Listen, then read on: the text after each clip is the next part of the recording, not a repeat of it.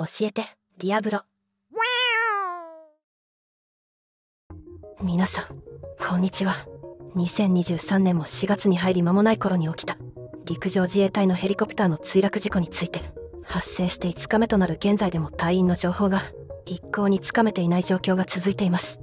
日本全体として隊員たちの無事を祈っている状況でとある人物がおかしな発言をしたことで話題となっています。今回はその人物と発言について紹介します。人物と発言を紹介する前に2023年4月11日13時時点での捜索状況について軽く触れておこうと思います。8日時点の報道では救命無線機からの反応がなかったことが防衛省の取材によって明らかとなりました。それから3日経った11日の NHK から現在の様子を引用します。陸上自衛隊のヘリコプターが沖縄県の宮古島の周辺で消息を絶った事故は発生から5日となりますが隊員につながる有力な手がかりは見つかっていないことから自衛隊は捜索範囲を広げて発見を急いでいます。今月6日陸上自衛隊のヘリコプターが沖縄県の宮古島の周辺で消息を絶った事故では乗っていた10人が今も行方不明となっています。これまでの捜索では当時機体に乗っていた隊員のヘルメットや燃料タンクの一部などが回収されていますが操縦席やエンジンなど機体の大部分は見つかっていません。このため自衛隊は海底に沈んでいる可能性もあるとみて音波探知機を備えた掃海艇などで海中の捜索も行っています。現場周辺の水深は20メートルから200メートルほどで防衛省関係者によりますと音波探知機で一定の大きさを持った物体の反応があった場合は水中カメラなどを使って確認しているということです。これまでの捜索ではこうした反応は数十箇所以上で見つかっていますが確認するとサンゴ礁や岩がほとんどで機体の発見には至っていないということです。現場周辺の海域は潮の流れが速い上に時間帯によって向きが変わるということで自衛隊は艦艇や航空機による捜索範囲を広げて海上保安庁とともに隊員の発見を急いでいます。未だにほとんど情報が手に入れられておらず回収されているのはヘリコプターの部品の一部のみという状況です。なかなか隊員が見つからないことに対して日本全体として無事であってほしいという気持ちが強くなっていることでしょう。ディアブロも隊員たちが無事に帰ってくることを切に願っています。日本全体として陸上自衛隊の隊員たちの安否を心配している中中国在住の起業家であり経営コンサルタントをしているという総文修士がツイッターにて救命無線機の反応がなかった記事を引用してポンコツヘリ命を奪うというツイートをしたことにより炎上をしています。この発言については不愉快であり炎上してしまうのも必然であろうと考えます。第一に隊員が亡くなったという一方もありませんしなぜ救命無線機が作動しなかったのか墜落をした時に何があったのかが判明していない今軽はずみに隊員が亡くなった前提で言葉を選ぶことやヘリが直接の原因だと断定するような発言は控えるべきであると考えます。ヘリについて言及をするのであればどこがポンコツだったのか主観だけでなく根節丁寧に教えていただきたいものです。とはいえ総文収支については昔からこうした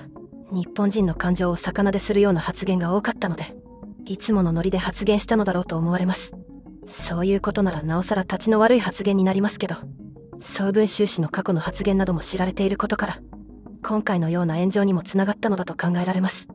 自称日本が好きだという総文収支ですが発言などから察するに総文収支にとって都合のいい日本が好きということなのではないかと思えてしまいます。だからこそこうした軽はずみな発言もできるのでしょう。総文収支の発言についてネット上ではブラックホークがポンコツだったら早急に前期オスプレイに交換しないといけなくなりますね。やっぱオスプレイ必要やな。最新式帰ってさ高性能ヘリが必要だと防衛力強化が必要だと言ってくれてるんやな。ありがとう。この方の防衛費を GDP 比5%にして装備品の質を上げ量も増やすべきだ。という趣旨の素晴らしいご意見に賛同します。本当に言ったのならこうましからざる人物で国外追放とか入国禁止とか何かの措置ができないものなのかと思います。まあこの人がウキウキ発信すればするほどアメリカもひどいがさすがに中国よれましだって思い直す人が多いと思うのでこれからも口汚く日本を罵って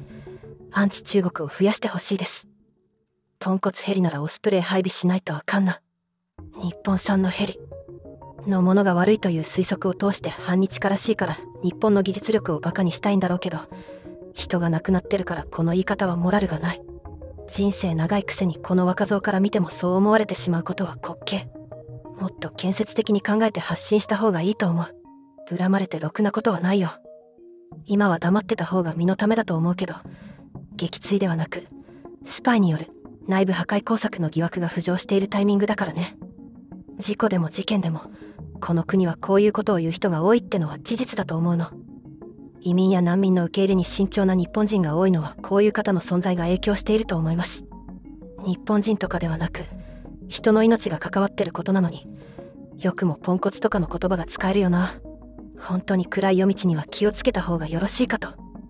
あそこの国はこういう人間がいるっていい見本そのつもりで付き合わないといけない。できれば付き合いたくないが。倫理観をなくした人間って醜いね。人が亡くなってるかもしれない事故や災害を笑える人って鬼畜としか思えない。こういう人や国と友人関係など築ける気がしない。こういうこと平気で言うくせに日本人が中国の失敗を笑ったら日本人の民度は？とか言うんでしょ中国人がなぜ嫌われるのか？とかよく言ってるけどお前みたいな奴らのせいだということをいい加減理解しろよ。こういう発言をすることで中国人の価値や評価を下げるということがわからないポンコツ人種。まだ詳細が出ない段階で言うべきことではなく命に対して嘲笑は人間性疑う。あなたの発言が中国人だと思われることを理解されてます。人命が失われたことを嘲笑するとはこの男は人として終わってるね。このクズをコメンテーターで使ってたんだからな日本メディアは。こいつ中国帰ってから本当に反日がひどい。心が貧しい人。満たされない人なんだろうね。かわいそう。人でなしってのはこういうやつのことだよ。日常的に人民の命を奪い人権を侵害している中国共産党を笑えよ。人民解放軍が墜落現場近海で空母の訓練してるのも狂ってるぞ。以前から寒いことばっかほざいてたがこれが事実なら絵に描いたようなクソ野郎だわ。というように総文収支に軽蔑の目を向けている声や中国全体の評価にも大きく関わるのではという声などが多く見受けられました。いかがでしたか？今回は陸上自衛隊のヘリが墜落し今もなお捜索活動が続けられている中で隊員たちの心配をする日本国民の感情を逆なでするかのような発言を総文収氏がしていたことについて紹介しました。もともと総文収氏にいい印象など微塵も感じてはいませんでしたが今回のことで本当にどうしようにもない人物なのだなと思わされることになりました。最後までご視聴いただきありがとうございました。コメントを残してくれると嬉しいです。チャンネル登録高評価もぜひお願いいたします。それではまた。